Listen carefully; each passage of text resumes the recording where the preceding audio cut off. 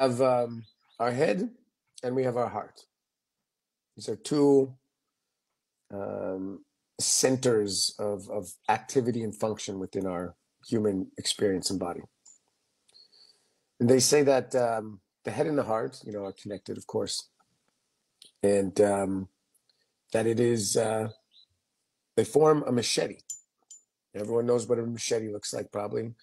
Got a big sharp blade and then a long handle. They say that the heart is the handle and the head is the blade. And uh, when you use a machete, if no one's ever used a machete, I spend a lot of time in the forest. I've used one quite often. You know, you hold the handle and you hack whatever you need to hack, you know, but you point it with the handle. Mm. This is the heart. The heart is the handle. The heart is that which leads the blade. The mind is sharp. It is the blade. But it is not led blade first. It is led by the handle, the heart.